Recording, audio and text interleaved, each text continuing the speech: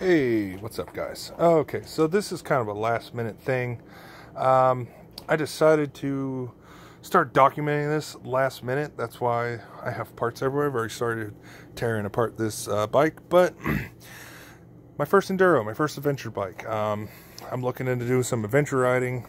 Uh, my stepdad just bought a bike. My mom just bought a bike. Uh, we're fixing to start going on some trail rides and stuff like that. Just trying to get into the whole scene. So uh, what I have here is a 2000 KLR 650. Uh, I did tons of research on bikes, and from what I understand, the KLR 650 is kind of the best all-around versatile bike for street and dirt. Um, yeah, it's kind of exciting. Um, so I picked the bike up for 1300 bucks. Um, it's a little rough, but it runs. Uh, so the story with it was it sat for about 10 years and uh, the guy pulled out of storage, put a battery in it, and it fired right up. Started running. It runs rough. It's got old gas in it. Um, I rode it long enough just to test drive it. Um, upon driving it, I figured a couple things that was wrong with it immediately, apart from the cosmetic stuff, which I'll explain here shortly. Uh, first of all, obviously with the bad gas, it didn't idle right.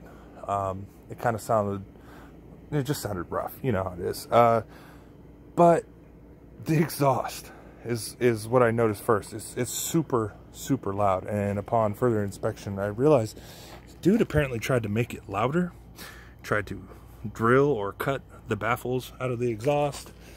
He also drilled some holes in it. I don't know. It's stupid. I'm gonna have to replace that.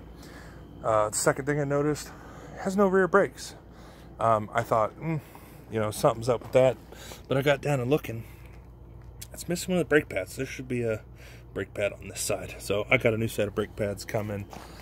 Um, after walking around the bike and seeing some of the cosmetic stuff that's kind of rough. Front tires dry rotted. That's going to be need to be replaced. The uh, handlebars are a little tweaked.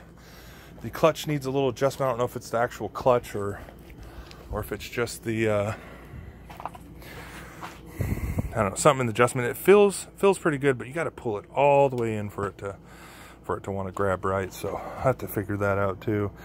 Um, I started tearing it down just so I could clean it up. Uh, it's it's kind of rough, man. I mean, it's dirty, it's dinged, it's scratched, it's beat up. But uh, but hey, man, you can't kill these things apparently. Um, first kind of project, apart from tearing it down and cleaning it up, is they uh, they put all this kind of this real tree like tape stuff. I don't know if it was a graphics kit or if it's actually just some tape or something. I've seen the tape at stores. So that's coming off, getting rid of all that. Um, somebody tried to paint the fenders. Um, this, I'm guessing, is the original color. And they painted this almost blue over top of it. Or, I don't know, it looks rough. I'm going to sand those all down and kind of paint them. Still kind of coming up with a color scheme for it. Um, so that, I don't know, that's just kind of on the list. Uh, list of things to do. I don't know, it's exciting. Um, I've been riding dirt bikes and stuff since I was six years old. You know, I'm 32 now. I've ridden street bikes and everything, and and I've just always, I've always loved bikes. So this whole adventure riding and stuff like that is is new for me. Um, apart from trail riding as a kid, so yeah, I'm excited to get into it.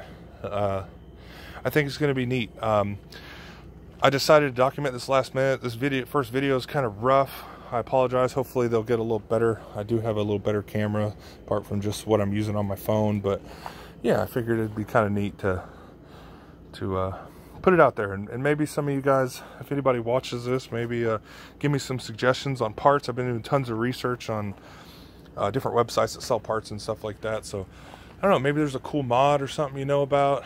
Uh, there's lots of little things I got to do to anyways. I need to buy new bolts. Fairings were all put together by different screws and bolts. Uh, this reservoir here don't even have bolts in it at all. You know, it's it's kind of rough, but you know what? It's 1300 bucks. It runs, doesn't have a pile of miles on it. 12,000 miles. All the lights and blinkers work. They were the rubber was dry rotted, so they're broken. Um, the front ones were, the back ones are okay. But ordered went ahead and ordered new blinkers because uh, as I get it cleaned up, start putting together, I'm just going to make small purchases and stuff like that as as money comes in and I can afford to spend it. But but yeah, uh, tell me what you guys think. You know, it's the start of my adventure riding adventure.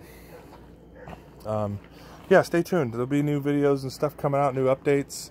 I'll get some more work done this week on it, and I'll maybe post another update video. So, all right, thanks, guys.